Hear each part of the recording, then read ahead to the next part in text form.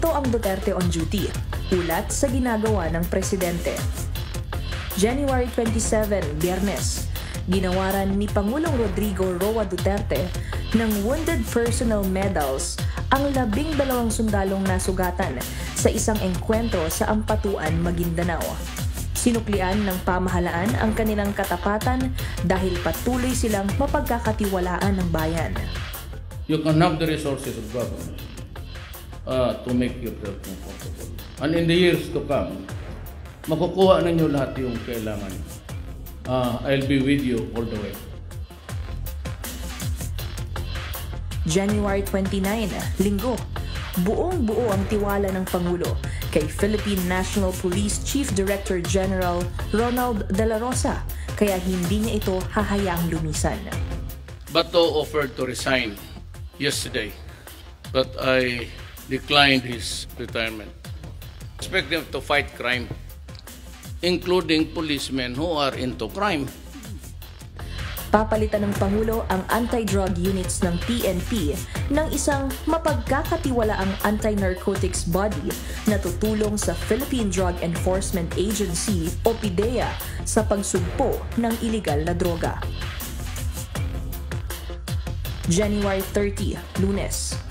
Ipinagkatiwala ng Pangulo kay National Anti-Poverty Commission Secretary Liza Maza ang pagplano sa mga prioridad sa programang isusulong gamit ang isang bilyong pisong social funds ng presidente para sa libreng gamot sa mga mahihirap.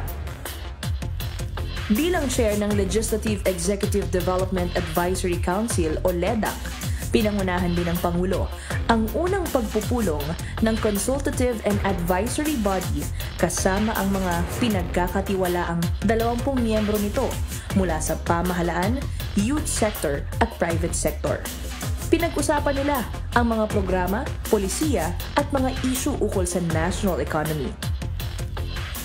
Hindi nabigo sa kanyang tiwala sa Pangulo si Agusan del Norte Governor Maria Angelica Matba. Susuporta ang presidente sa pangangailangan sa state of calamity ng probinsya dahil sa pagbaha. Pagtitiwala rin ang hiling ng Pangulo mula kina South Korean Ambassador Kim Jae-shin at Choi Kyung-jin, ang asawa ng pinaslang na Korean businessman na si Ji Ik-ju. Tiniyak ng Pangulo na mananagot ang mga sangkot sa pagkamatay ng Korean businessman. January 31, Martes, sa Joint Climate Commission Unbank Advisory Board meeting, pinaksa ang mga tamang tugon sa climate change. Ipinagkatiwala ng Pangulo sa Department of Agriculture, Department of Interior and Local Government, at Department of Environment and Natural Resources ang pagbubusisi sa total log ban sa bansa. Pinangunahan ang oath-taking ng bagong Armed Forces of the Philippines officers at ipinaalala sa kanila ang tungkulin kung saan nagtitiwala ang bayan. Bear in mind that your careers grow along with your responsibilities. After all, those who hard earned stars on your shoulders, it is rightful then that you polish them kept them shining and brightly untainted.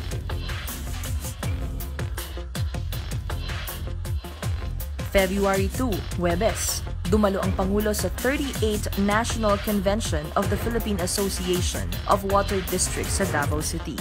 Bagaman tiwala siya sa water district sa syudad, naniniwala ang Pangulo na kailangang magkaroon ng isang ahensya sa pamahalaan na mangangasiwa sa water distribution sa bansa. We will establish a central water agency under which all water-related functions will be addressed. It, it's coming during my term. Ito ang Duterte on Duty, abangan sa susunod na linggo ang mga gagawin ng Pangulo.